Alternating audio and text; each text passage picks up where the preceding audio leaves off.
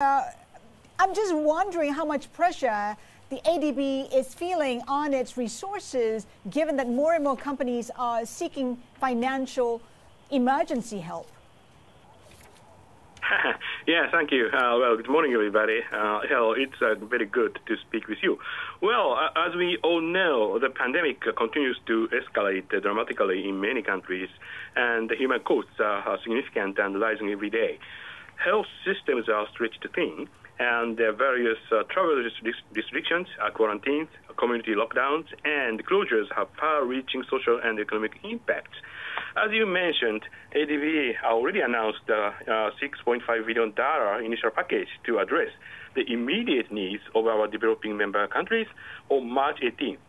But it is now clear uh, that the scope and scale of the crisis requires uh, much greater efforts. So, uh, therefore, just yesterday, we launched a more comprehensive support package uh, that is tripled in volume to uh, $20 billion.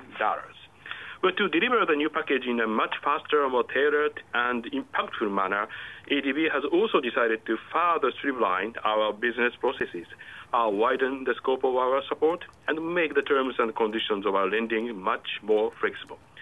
And this new package includes the establishment of COVID-19 pandemic response option. We call it CIPRO, CPRO.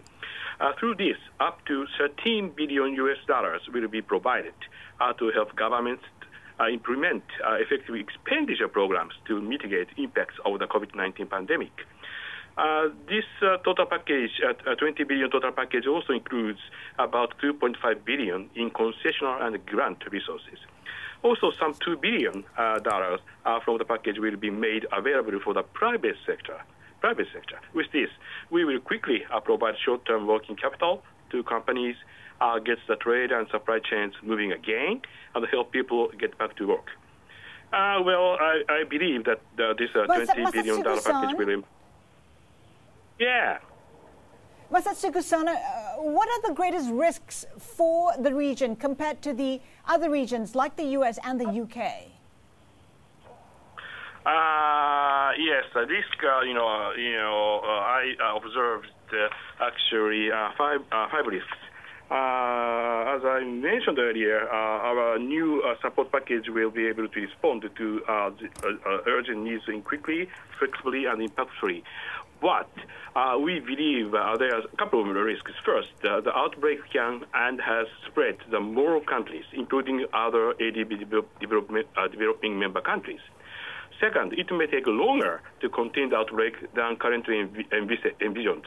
We assume, you know, well, this uh, outbreak will be over uh, within the next three to six months, but it may be a little bit longer than that. And thirdly, economic effects may be larger than envisioned in ADO. Uh, we assume that the loss of 2.3% to 4.8% of global GDP will, will, be emerging, but it may be uh, worse than that. And fourthly, uh, we cannot discount the possibility of financial turmoil and of some countries experiencing financial crisis. So uh, we definitely need to you know, uh, try to avoid the situation that this coronavirus uh, crisis uh, will evolve into any kind of financial and currency crisis. And finally, fifth, uh, this global pandemic could leave permanent scars, resulting in fundamental long-run changes to the global economy. You talked about how you can you can expect financial turmoil. I mean, which countries are at risk? Which countries may need a bailout down the road? But so far, you know, uh, we are not observing, you know, uh, uh, worldwide, uh, uh, you know, financial crisis or currency crisis. But uh, there are some countries whose capital market is, you know, considered to be very volatile and fragile, so that you know, abrupt capital outflow might happen, so that there would be a huge pressure on their currency downwards. Uh, so we, you know, well, compared with, for example, 20 years ago when we suffered from Asian financial crisis, you know, each country accumulated, you know, sufficient level of foreign reserve, first of all, and we have, you know, bilateral swap arrangement uh, to protect our currencies uh, from external shocks. Uh, and also we have, uh, so for example, Chiang Mai initiative, which, which is a regional uh, uh, safe, uh, currency safety net. Uh it's already there and so on. So I think you know, compared with 20, 30 years ago, the you know, safety net is there.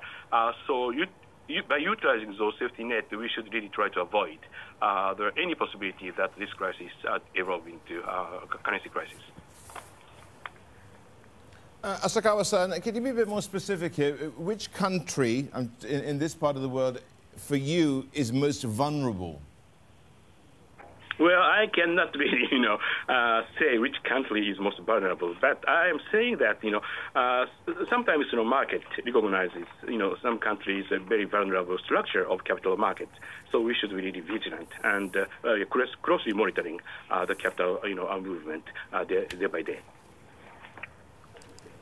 Now, you're saying that you have a facility for uh, companies out there. What uh, type of companies are you looking to perhaps help here? Who are the ones you're expecting to actually uh, come and assist? Well, actually, you know, talking of in our private sector operations, uh, actually we are trying to expand our operations in a couple of fields. One is uh, trade financing. Uh, trade financing is definitely needed uh, not to be disrupted by this crisis. So we are providing you know, short-term uh, financing uh, for the trade uh, to continue smoothly. second is uh, supply chain network. Supply chain network has been also disrupted by this crisis.